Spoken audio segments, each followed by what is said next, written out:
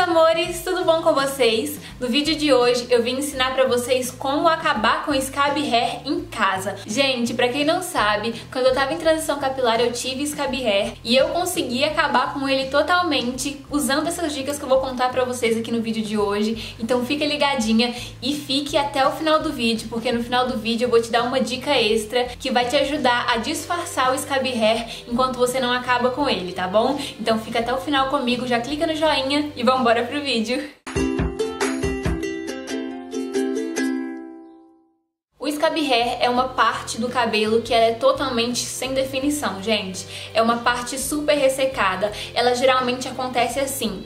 Quando o nosso cabelo tem tá transição capilar, aí tem aquela parte alisada do nosso cabelo e tem a parte natural. Só que entre essas duas partes tem uma parte do cabelo que ela simplesmente não define, ela não tem definição. Ela não é nem tipo 2, nem tipo 3, nem tipo 4. Ela é um cabelo sem definição, totalmente. O scab hair geralmente acontece com mais frequência durante a transição capilar, mas existem muitos casos também de pessoas que tiveram scab hair depois do BC, depois do Big Shop. Então, se você já passou pela transição e tá com scab hair, não se preocupe, isso é normal, acontece com muita gente e hoje eu vim salvar você e te explicar como é que você pode acabar com scab hair em casa. A dica número 1 um que mais me ajudou a acabar com scab hair no meu cabelo foi o cronograma capilar. Eu sempre falo com vocês do cronograma capilar, gente, porque é algo que realmente transforma o cabelo. Existe o seu cabelo antes do cronograma capilar e o seu cabelo depois do cronograma. São dois cabelos diferentes, gente, porque realmente o cabelo fica transformado com o cronograma. O cronograma capilar é uma agenda para o seu cabelo em que você vai colocar no seu cabelo tudo o que ele precisa. O cabelo vai responder, gente, isso é certo. Eu fiz um vídeo falando só sobre cronograma capilar, então se você ainda tem dúvidas, não sabe o que é o cronograma, não sabe como seguir, esse vídeo está super explicadinho. Eu tenho certeza que você vai conseguir entender e seguir o cronograma capilar, então eu vou deixar o card aqui em cima para você ir lá assistir esse vídeo também. A dica número 2 é lavar o cabelo na água fria. Gente, eu sei que tem muita gente que não gosta de lavar o cabelo na água fria, mas se você quer que o seu cabelo te dê um resultado bom, você vai ter que fazer alguns sacrifíciozinhos aí para ele poder te dar essa resposta. Principalmente se você tá com scab hair e quer que isso acabe, você vai ter que abrir mão aí da sua água quentinha e lavar o cabelo na água fria. O cabelo gosta muito mais, gente, de ser lavado na água fria. Ele responde muito melhor, fica muito mais bonito, com mais brilho.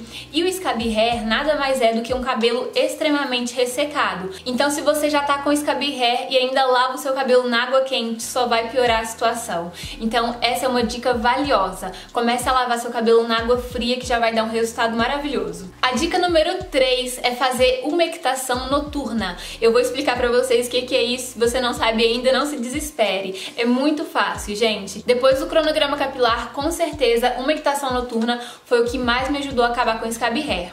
Umectação Hidratação noturna é o seguinte, você vai pegar um óleo vegetal, pode ser óleo de coco, pode ser azeite extra virgem, pode ser óleo de rícino. O que eu mais gosto é o óleo de coco, foi o que deu mais resultado no meu cabelo. Aí, se você for lavar o seu cabelo amanhã, Hoje à noite você vai passar o óleo no seu cabelo, vai passar na raiz também, gente, não tem problema passar na raiz, tá bom? Aí se você quiser passar no comprimento todo, pode também. Eu gostava de passar desde a raiz até as pontas do meu cabelo. Aí você vai ou colocar o seu cabelo, colocar uma touquinha no seu cabelo, ou então cobrir o seu travesseiro e dormir com aquele óleo no cabelo. Aí quando for no outro dia, você lava o seu cabelo.